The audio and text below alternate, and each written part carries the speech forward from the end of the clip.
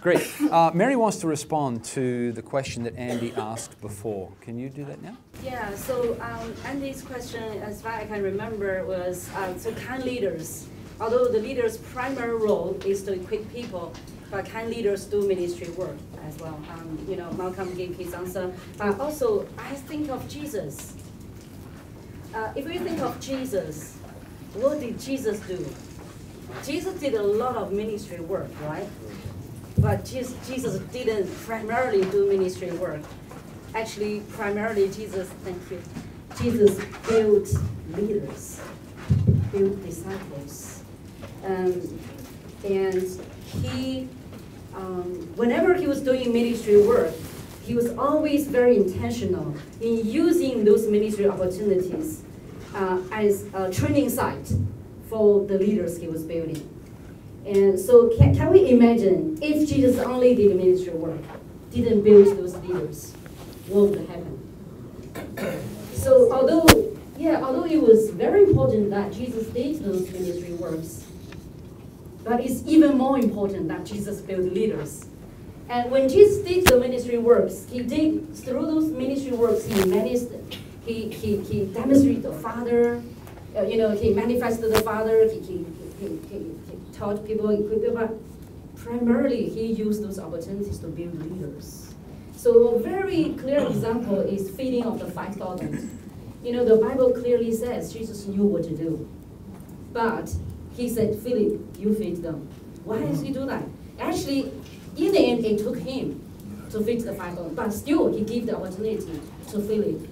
And so, um, because he knew in the days ahead, you know, Philip and other leaders, disciples, will be encountering those similar situations all the, all the days of their life. You know, the challenge, the needs, it's always beyond what the, the, the resources they have, their capacity. So they need to be trained to learn, to depend on God, and let God, you know, function, let God minister in the gap between what they have and the demands of the needs. So, um, so they need to be, they need to be trained to, to be comfortable in walking into these situations and depending on God and let God do the miracle. So uh, and Jesus was very, very intentional. Many situations like that. You know, he was watching those guys, those disciples struggling in the boat in the storm, but he was watching. He didn't just go immediately rescue them because he's always very intentional in stretching them, in building them. So whatever situation he found the, uh, the, the, the disciples and whatever he was doing, he always, that's why he took the 12 to be with him. You know, whatever he was going through, whatever he was doing, these guys were always with him, watching him. And, and, and, and he let him let them participate in what he was doing. Sometimes he sent them out to do it themselves. So um, I, think that is a very, very, very good model. Not very good. very biblical model for us to follow as leaders, understanding our primary calling, our primary role as a leader is to build people, is to equip people, not primarily just do the ministry work. Because we can't imagine what if Jesus didn't build a leader, but primarily did the ministry work. There would be no future. Yeah. So um, Yeah, that's good. just a little bit what I want to say Yeah. in response to Good. Thank you. Good. Is that good? Let's go to page 48, please. And here are, this is a, like a summary of the major paradigm shifts that we have looked at so far.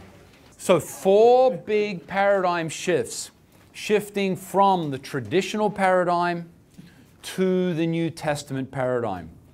Paradigm shift number one the question is who builds the church? Without looking at the slide, which I know is probably hard to do, in the traditional paradigm, who builds the church? The leaders do the ministry work and the church is built up. In the New Testament paradigm, who builds the church? The people do the work. The people build the church. This is a profound shift of thinking. I mean, leaders even call themselves ministers, you know, because we do the ministry work. Therefore, we are ministers. In reality, who are the ministers? Yeah, the leaders should be called the builders, the equippers, yeah? The people do the work. That's what builds up the church. All right, so this is the first paradigm shift. Who builds the church? Who builds the church? Good. That's good. The second shift what is the role of the people of God? What are the people of God supposed to do? In the traditional paradigm, needy objects, passive recipients of the leader's ministry. Look in uh, Ephesians 2, please, verse 10. Look at this. We are God's handiwork, created in Christ Jesus to do good works, which God prepared in advance for us to do. Who's he talking about? We, Who's we? every member. Every member. Every member functioning. Look at the incredible uh, opportunity, the gift that God has given every member to do the work. So, as a leader, if your attitude to the people is, well, I'm the one who is, you know, I've been trained to do the ministry, I can do the ministry, um, and therefore you are the object of me doing the ministry, you don't believe the Word of God. You are contradicting the calling that God has given to every member. Now, think about this in the context of your own children. How many of you have children? What's your hope for your children? That they will remain passive, needy objects of your help for their entire life? Is that for your hope for your children? Oh, goodness me. What do you want for your children? You want them to grow up and do what? Small things? Big things. Man, you've got all kinds of vision and hope and a sense of destiny, don't you? For your children? You want to see them conquer nations. Yes? Well, what do you think God has in his attitude toward his children? The thoughts I have for you are thoughts of good, not of evil. So don't stand in God's way. He wants to see His children excel in the precious calling that He gave them before the foundation of the world. Amen. That's who they are. They're not just weak and dumb and passive and needy. They're sons and daughters of the living God. And God has given you the responsibility not just to wipe their nose every time it, they, they have a cold, but He's given you the responsibility to equip them to be the powerful men and women of God that God has ordained and to do the works that God has given to them to do before the foundation of the world. That's your role as the leader. Amen. This is a huge change of thinking. And, and think about the difference that this makes when you interact with the people. If I'm interacting with a member of my church and they're just, you know, passive, needy, I'm not going to last long. Not very long. I'm going to be irritated, grumpy, frustrated. But if I'm but if I'm relating to them as a child of the living God, son and a daughter of the living God, who I am called to equip, to envision, to raise up, to empower, to release. Wow. Now I'm excited about talking to them. Come on, who are you? Where are you going? What are you going to do? Let's open some doors for you. How can I serve you to be all that God has called you to be? Rather than I'm going to be every night, I'm going to get a call from you because something's not, you know, you need more help in something or other, some little thing. Yeah? Totally different relationship to the people of God, isn't it? When I see them as those who will be doing the work of the ministry.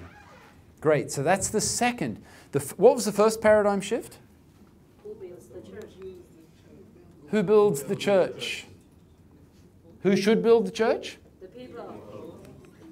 Second paradigm shift. And what is their role? The work of ministry. Do the work of the ministry. Amen. Build up the body of Christ. God prepared for them to do. Yeah, God prepared before the foundation of the world. Third paradigm shift. So then, let's define the role of the leader. In the traditional paradigm, what does the leader do? Do the work of the ministry. Like everything, basically. You know, was funny. Uh, years ago, in, in my church, in America, in America, you know, Americans like to have every month is sort of the month of something or other. You know, it's just an American thing, and and and I think it's October is Pastoral Appreciation Month. Okay, so so anyway, one brother came to me uh, one day on Sunday, and he said, Malcolm, you know, uh, in October, and he said, I was listening to Christian radio, and on Christian radio uh, that week, uh, they came on and they were promoting Pastoral Appreciation Month. this literally happened just the way I'm telling it to you. You- this is such a cool story. And so, um, uh, so he said, I was listening to this radio and, and, and they were promoting, you know, you need to appreciate your pastor. He does so much for you. He comes and visits you when you're sick. He holds your hand when you're feeling bad. He wipes your nose when it's runny. He didn't say that, but you know, that sort of thing. He, he gives, he brings you breakfast in bed. He shines you, you know, it's just on all this list of things that your, that your pastor does for you, you know, and and, and, and, and he does everything in the church. He mows the lawn for the church, and his wife arranges the flowers, and he does all the teaching and all the visitation and all the prayer and, and, and on and on and on. And, uh, and he said, You know, Malcolm, I was listening to this long list of things that you should be appreciative of your pastor because look at all this stuff that he does for you. And he said, Malcolm, there was not a single thing on that list that you do. not one. exactly. And I thought, and I thought, whoa, yes, Lord, I've succeeded. Thank God. That's certainly my goal. And the wild thing was, at the time, our church was thriving. It was booming. It's not like it was falling apart because I wasn't doing all of this work. It's because, meanwhile, we had a full time leader development program, yeah, that I was leading. I was building leaders, high capacity young people. I was personally investing in their lives. I was doing this, I was overseeing the spiritual infrastructure, you know, making sure that things were, was taking overall responsibility, but I was not meeting needs. Was setting the vision, the vision for the people doing the work, etc., etc. And that's what he said. Not a single thing. Now, uh, Anyaname asked before about what are the indicators of healthy church. That's a good one. when the people tell you there's not a single thing that you're doing on the, the endless list of things that you're supposed to be doing. Great. So, what actually is the role of the leader? Equip the people, build leaders, shape culture, create an environment for the people to do the work. Yeah. And that's hard work. See, the, the leader works hard. The leader works really, really hard in a healthy church. It's not that he's just sort of, well, I'm not going to do anything. Thank God for this new model because I can just be lazy, you know? No. You, you actually, you're working really, you're working at least as hard as, you know, the old. You're just doing very different things.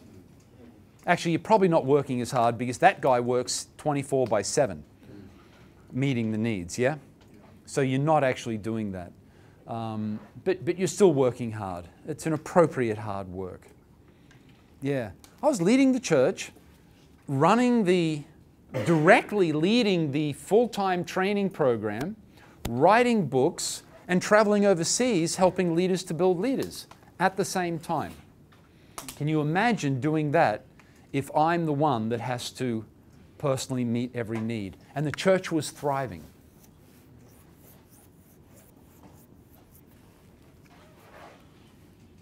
Fourth paradigm shift.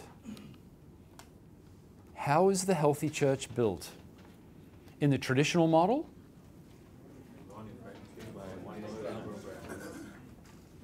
We're running the programs. In the healthy church, what's our focus? Yeah. That's what Jesus told us to do. Go and make disciples, build people. That's what Paul told the leaders to do equip the people. These are the four uh, major paradigm shifts. So here's your next assignment. In your teams, please think about what would happen when we don't follow the principles of the healthy church. When we have the leader doing everything, the, le- the leader meeting every need, the people are just passive objects. What happens to the leader? What happens to the people? What happens to the church? This is your assignment. We'll give you three minutes. When the leader doesn't do the right thing, when he's not equipping the people, but he's trying to run the programs, trying to meet all the needs, what happens to the leader? What happens to the people? What happens to the church? What happens to the leader?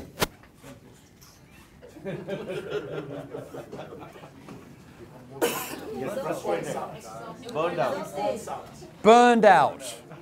How many people had that as their first answer? That's good here. That was the first thing you thought of. High blood pressure. High blood pressure, yeah. Yeah, sickness, sickness, sickness, physical sickness, Anxiety, anxiety, depression. emotional, yeah, depression, emotional, emotional um, unhealth. Feeling of, as a failure. Look, if you're trying to meet needs, you know what? You literally can never succeed because you can meet a thousand needs and there are 10,000 more before you even finish. It's endless. You can't do that. There'll be no one to officiate them. Wow. That is an insight. That, that is an insight that, that only Bill would have. Beautifully spoken. Tootie. Sacrifice family. You know, one of the, you know, things that we see everywhere in the world, you know, think about the local leaders' children. And it, this is true everywhere in the world that so often the local church leaders' kids are not even walking with God. Sometimes they're like the worst kids in the church. That even happens all the time. Family failure might be what we, what are we Yeah, gonna write on? yeah, yeah. Yeah, yeah, sacrifice family. Marriage. Yeah, yeah, Broken marriage. yeah. Yeah. Hero worship. Pastor become hero. Hero worship. The pastor becomes a hero. He becomes a celebrity. Yeah, because everybody's looking at him, loving him, grateful to him for everything he's doing. He falls into temptation. Sometimes, sometimes even deliberately, uh, because he's so burned out and he doesn't know how to get out of it. He's like the hamster on the wheel. Run, run, run, run, run, run, run, run, run. The more he runs, the faster he's got to run. And it's like, how do I get off this? And so he just self destructs in, in some you know, way, like moral failure, something like that. That happens deliberately sometimes, guys. Uh, it, it can also happen just at, just obviously sin and temptation and a feeling like I'm doing so much, you know, I, I, I deserve this, you know, that sort of thing too. Yep. Entitlement, that's what you're saying? A sense of entitlement. Yeah, yeah, yeah. I'm entitled. I, I, I entitle different than anyone else because of what I'm doing. Yep. Pride. Pride. It's the opposite, but also failure. Yeah? Also, a sense of failure. It can, it can work different ways for different people, you know? With a celebrity pride will come in. Celebrity, there's pride. Yeah. Self pity. Mm, wow. So busy preparing sermons for others, he never feeds on the word for himself Wow. like you're covering in the uh, Yep. how to teach. Yep, yep. Yeah, always his own time in the Word only revolves around preparing teaching for others rather than he's in the Word for his own nurture. Yep, his own life in God suffers. Yeah, that's what we as teachers, we must look. Uh, it's a whole other subject, but you should not even be in the Word to prepare a teaching. Just be in the Word because you love God, you want to know God, you want to learn His Word, you find God in, the, in His Word, He nurtures you by His Word. And then when you need to teach, it'll be there. It- it's not you have to go and get, find something. It, will be overflowing out of you, just a, out of the abundance of your life. And you, you, you, you won't be up late on Saturday night thinking, oh God, give me something to teach tomorrow. You know, when I hear that and somebody's like, oh God, give me something to preach tomorrow on Sunday morning, I think, thank God I'm not in your church. It's going to be like boring, man.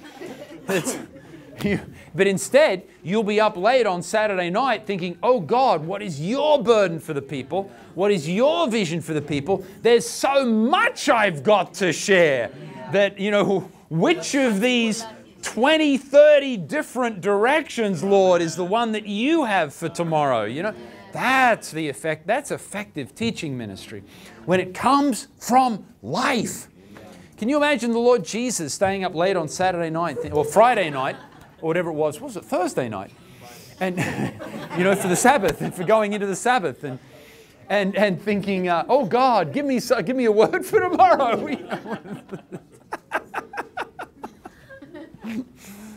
what else? No time with God. No time with God. And so his own spiritual life is suffering deeply. And, and but, but, but because he's faithful to God, he keeps on going. Yeah? But he's, but he's just doing it out of exhaustion, not out of life. It's not life to him. He Brent. become really controlling because he's got to make a lot of things happen. Got to make a lot of things happen. We end up just trying to control everybody. Yeah, we're not walking in a place of freedom before God and trust. We have no trust at all for the people. Yeah? Because they're just needy, passive recipients. I'm not going to entrust anything to them. It's all got to be me. Micromanage, micromanage everything. Yeah. Oh, man. Serious, huh? What happens to the people? Passive. Nothing to do. They have nothing to do other than complain. Outstanding. Other than to review your work. Yeah, and, and compare you with the, the preacher on TV or the internet. Huh? Oh, lovely. Don't we all enjoy that? No ownership. No ownership.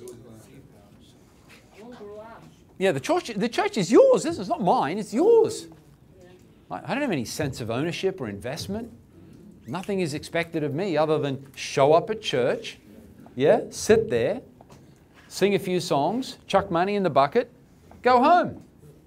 And maybe find another church next. Find another church next time that has a more exciting program or something better for the kids or you know the preacher is more of a celebrity than you were and that sort of thing and then you get all the pain of that because now you've been rejected again Ah. This church is just not meeting my needs. Mhm. I'm not getting fed. i'm a consumer You hear those excuses, that's a church where leaders are doing all the work. When people are saying, this church is not feeding me and it's not meeting my needs. Yeah. That's a symptom of this problem. what else people Unstable. They're unstable. unstable yeah they're not maturing they're babies up and down today they're up tomorrow they're down Stay babies don't grow up. they stay as babies They create a church hopping congregation. Yep. Go from one to the next. Church hopping. One to the next. Yeah. So many times you've heard from big churches, the believers would say, oh, this wants our money, nothing else. There's no ministry into our life, there's nothing, so Yeah. Yeah. are confused, Yeah. of, you know? Yeah. What are we here? Yeah, yeah. Why are we here? You know, what's really what's really amazing, uh, and this is why so many businessmen don't want to join the church. They get so frustrated. You have this very successful businessman who's doing amazing. You know, raising up all these beautifully uh, productive uh, businesses. They come to church. What's the most they can do? Be an usher. You know, be the parking lot attendant or something or other and he's the CEO and real, you know, integrity and you know, successful, and this is this is this is all he can do. And, and it's like the guy could run a thousand churches, you know, and but he's never trusted with anything. And so how frustrated is he? And so what's happened in the last few decades is the businessmen, and and I know you know this, the, the businessmen, it, it happens all over. They get together and they kind of give up on church. Forget that. All- All they ever, all they ever see us as is the we're the ATM, you know, and maybe the parking lot attendant if we're really really favored. Certainly the ATM. And so, and but they want to change the world.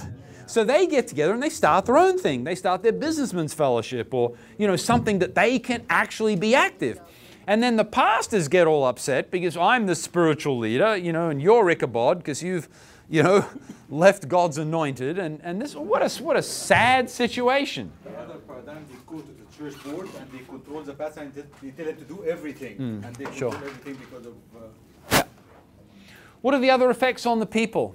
Fire the pastor. Why? Why? Because he's not meeting every need?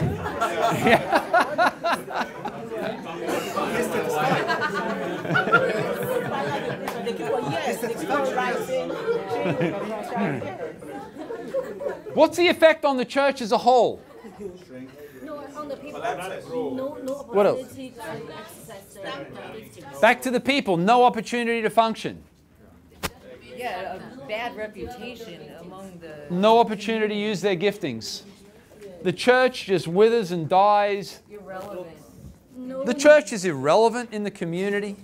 no, no leaders, because, because nobody is building leaders. So no, no. There are no leaders. No succession. There's no succession. And so the pastor dies or leaves, everything just folds. We have to get somebody in, you know, hopefully can then do it. Sweet outside. No, no leader development. No new leaders. Yo yo? Sweet outside, poisonous inside. Sweet outside, poisonous inside. Wow. Content. Poetry. The church, yeah, Yeah. Yeah. No future. The church, No discipleship? the church is very unhealthy. Yeah. The church fundamentally is unhealthy. By definition, the church is unhealthy. Even though the celebrity pastor, with his gifting and, and his personal charisma, may be able to get a bunch of people coming, the money may be flowing, and, and there's a whole new building project. We're building a 15,000 member church. It looks fantastic, but the church is fundamentally unhealthy by definition. Because what's the definition? What is the one characteristic of a healthy church? That is the definition of a healthy church. Wow.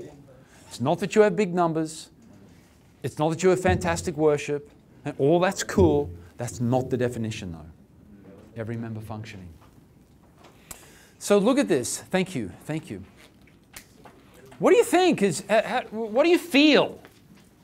What do you feel as you look at these things on the board? Okay. The effect on the leader burnout, sickness, depression, busy, celebrity, pride, self pity, controlling, anxiety, feeling of failure, sacrifice family, broken marriage. Goodness, wants to be a leader? Let's sign up. Yeah. Wow. fall into temptation, sense of entitlement, doesn't feed on the word, no time with God. Is this really how we understand leadership? Is, is this really what we want for our leaders? Oh my goodness. Is this really what the church should look like? Goodness, what a future.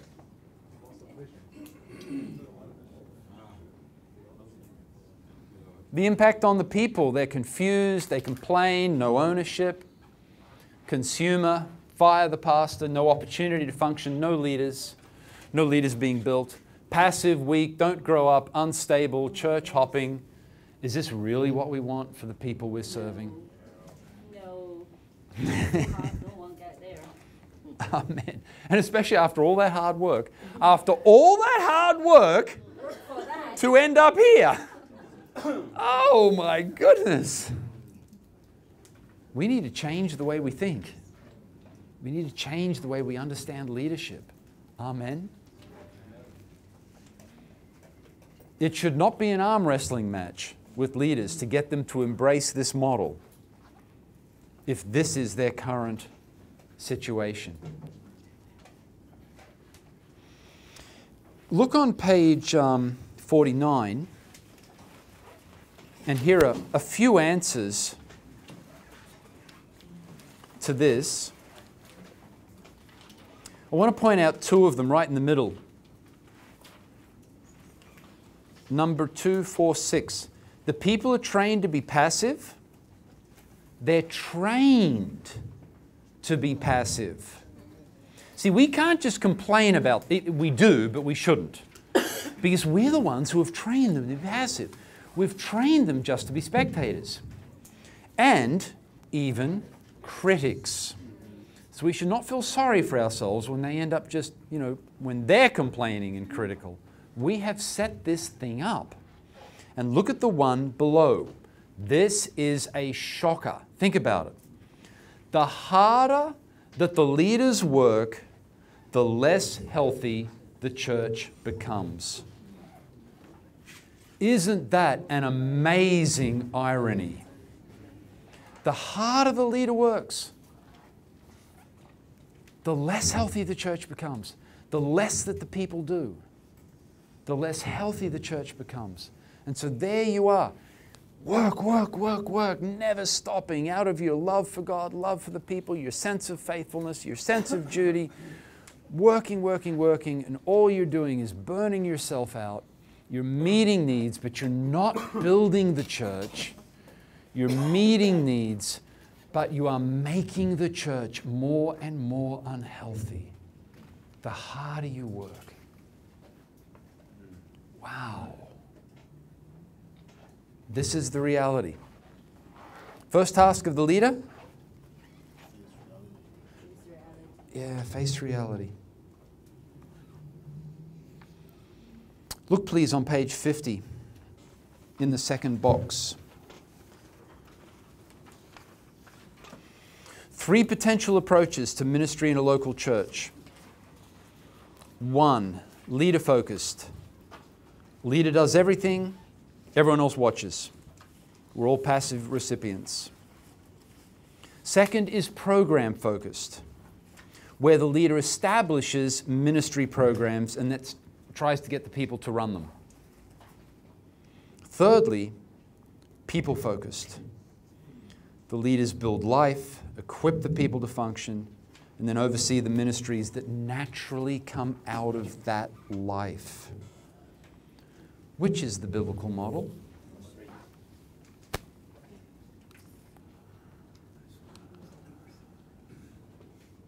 So here is the role of the leaders build leaders, shape culture, create the environment for the people to do the work. And what does it mean to equip the people? What does it mean to equip people to do the work? Whatever is necessary to prepare the people to do the work. And so that includes shaping culture, building leaders, uh, uh, spiritual infrastructure. Here's the role of the leader. Again, this is Paul's vision in Ephesians 4. It could not be simpler. It could not be more clear. Yeah? The leaders equip the people, then the people do the work of the ministry, and then the body of Christ is built up. This is the vision of the healthy church. This is God's vision for His bride for whom He gave His Son. Yeah. Um, I just want to share an experience. Uh, we were doing this training and um, just asking the same questions, asking the leaders. There were about 100 leaders in the room, all frontline leaders, church planters. So we asked this question um, because everybody understood their role as busy work, you know, do the ministry work, no rest. If you rest, you are not spiritual. So just hard work Yeah. all the time.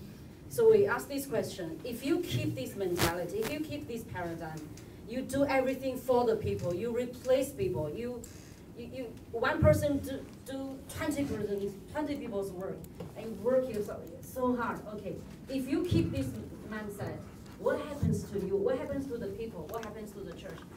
And every year, people were just shouting out ideas and were shouting out all of those, and we kept. And as we shout out, we were really laughing because it sounded so absurd. It sounded so Yeah. you know funny, and Yep. so we were laughing. We were laughing, and I was laughing with people. But as I was laughing, suddenly, I I felt the grief of the Holy Spirit. Mm-hmm. I, I felt the grief, I felt the sadness of the Holy Spirit. The Holy Spirit was asking me, really? Is this what, what is this what I want for the leaders, for the man and the woman Amen. who so faithfully, sacrificially serve me? Is this the future I have for them? No, and, and I, even though they were working so hard, but is this the future? Is this where I want them to lead my people to? And is, you know, although they are working so, they are serving so sacrificially, it is where I want the church to end up. I really sensed the sadness of the Holy Spirit. I began to weep. I was laughing, and I really began to weep. And then I ask people this question Is this the future you want for yourself? Is this the future you want for the people you are serving? Is this the future you want for your church? Are you really working for this? Is this the vision? Is this where you want to end up? And I really felt like, you know, God's leader care plan is the leaders equip the saints, mm-hmm. and the, and the saints do the work, Amen. and the church being built up. That's God's leader care for those who serve Him. That's God's love and Amen. care for us. Amen. Leave it to us. We work ourselves to death. We work our family to brokenness. That's why God is calling us to return to His strategy, to His path, because He has love and care for us. He has a bright future, a great future, a happy future for us. Not to end up there. God doesn't want us to end up there. So if we don't want to end up there, we really need to embrace a change of paradigm. We really, we desperately need to embrace God's strategy, His path. Leave our path, embrace His path, because He leads us into a glorious future. Abundant life, abundant life to the leaders themselves, abundant life to the people, abundant life to the church. Amen. Let's embrace these paradigm shifts. Amen. Wow. Yeah, let's stand together, please. In our teams, let's please lift up our voices to God and let's pray that God will give us in our hearts and minds these paradigm shifts. And then that God will use us to help many leaders in our countries to experience these paradigm shifts and to move from unhealthy to healthy. Let's lift up our voices to God now. Hallelujah. Lord, we just give you glory, Lord. Yes, Lord. Lord, help us delegate. Help us, Lord. build your to make disciples, to trust people of God, let them go forward. Yes, Lord, let them go even beyond us, Lord.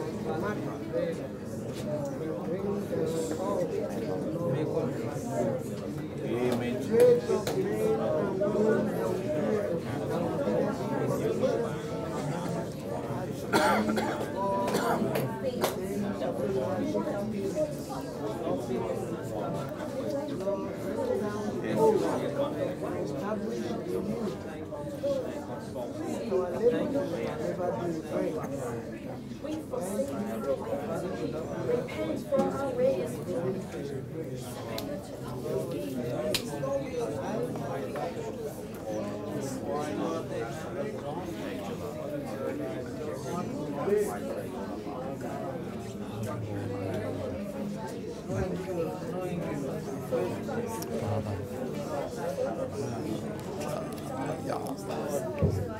Father, we receive your word. We receive your truth. Come, Lord, set us free from the traditions of man and from fundamentally unhealthy ways, from uh, wrong approaches to ministry and to leadership. Set us free from the things that have been destroying our lives and have been destroying our churches and the people we serve.